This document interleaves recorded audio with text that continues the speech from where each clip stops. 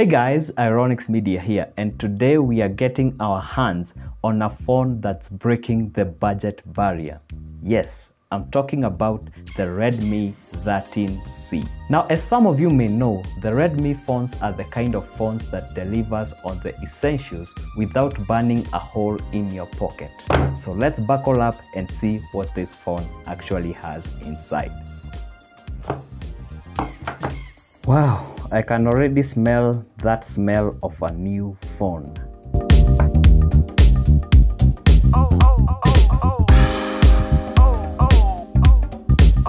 Now this phone feels surprisingly solid in hand, none of that cheap plastic feel that you sometimes get with budget phones.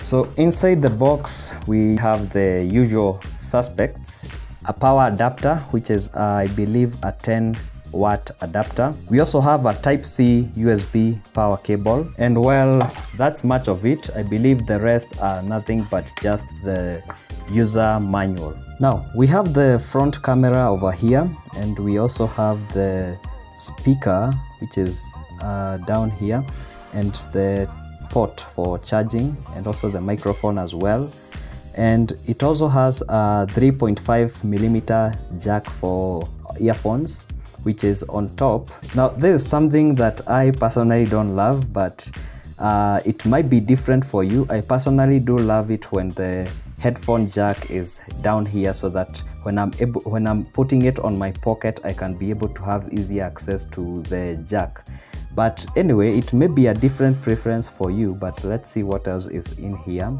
we also have uh, three lenses at the back and the main camera has 50 megapixels AI camera which we shall be testing out later on and a flashlight. So we also have the volume buttons on the side and also the power button which is also the fingerprint sensor. Now without any further ado, let's boot up the phone and see what's really inside and what this bad boy can do. Okay, now let's go back to the main attraction a bit for a second, which is the display.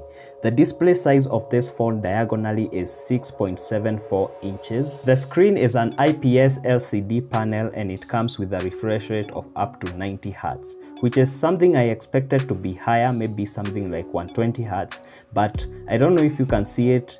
This is much smooth enough for a phone of this kind of budget. Oh, and did I mention that this phone comes with a variety of colors? The one I have here is a midnight black, but there are other variants out there which are the navy blue, the glacier white, and the clover green. Now, I personally love color gray or any other dark color, but when it comes to bright colors, I usually love the clover green. Now one thing I can say is that Xiaomi has uh, very nice and aesthetic looks even though not as nice as Oppo but definitely that is just my own suggestion and by the way let me know in the comments section which is your favorite color of a phone. Now enough with the design let's not get carried away too much by the design let's go ahead and look at the other big question which is the camera. Can this phone take decent pictures? Well that's what we are about to find out. Now the Redmi 13C features a 50 megapixel main sensor which I mentioned before which sounds quite impressive on paper but how does it translate in real world use? Now before we test it using some clips, let us first of all see what these camera features are. Now the camera features are the time lapse and we also have the video mode, the photo mode, the portrait mode, the night mode and we also have the 50 MP which I'm yet to test and see what it does. Now up here we also have some other features which are the flash, the grid lines, the timer and the voice shutter and the watermark. Now the voice shutter is one of the amazing features that it has because instead of tapping here in order to capture a photo all you need to do is just activate it with a voice command. Like now if I say say cheese and it captures a photo so I think the code word is say cheese and it captures a photo. So all I need to do is just say cheese. Okay, it didn't hear me right now. Now this feature is quite amazing unless maybe you have that one disturbing friend who likes to come and disturb you when you are taking a photo. You know, can you imagine when you are trying to capture a photo and then someone comes and shouts, say cheese? And it definitely captures a photo of you while you are not ready. That's uh, a bit funny. Now the selfie camera on the other hand, let's see what kind of features that it has and there we go.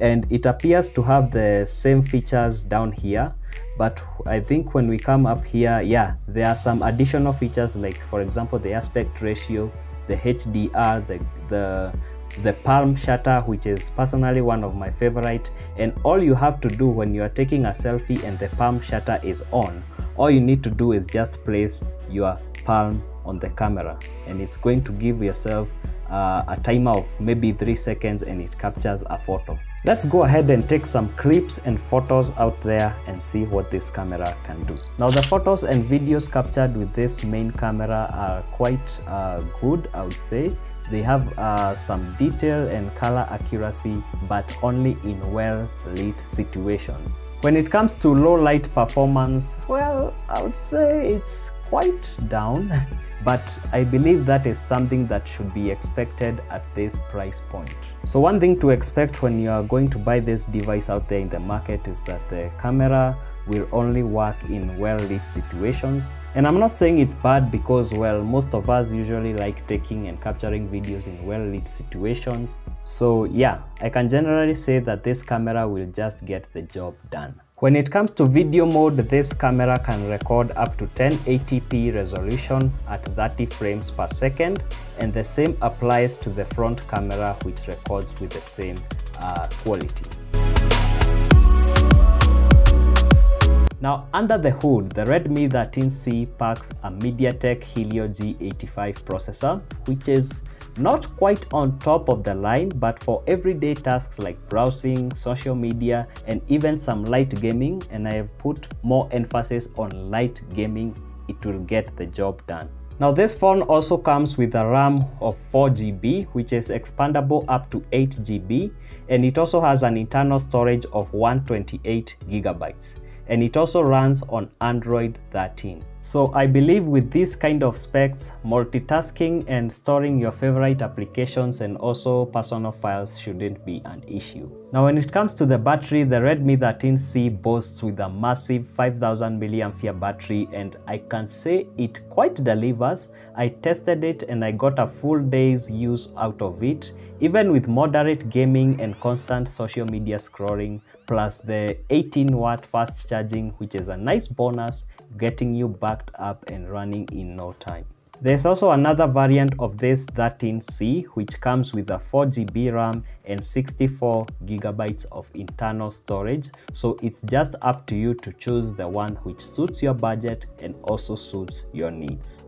Now last but not least, I know the question that is ringing in your mind right now is how much does this phone cost? Now, as per the time of this recording, it ranges from 16,000 to 18,000 Kenya shilling. But this will again depend on the source where you bought your phone. Now I believe that is all there is much to say concerning this phone. Let me know what you think about it. If you have any queries or suggestions, let me know in the comment section down below. If you have liked the video, make sure you give it a thumbs up and don't forget to subscribe so that you may not miss any of my future videos. It's been Ironix Media and I hope to see you guys in the next video. Stay tuned.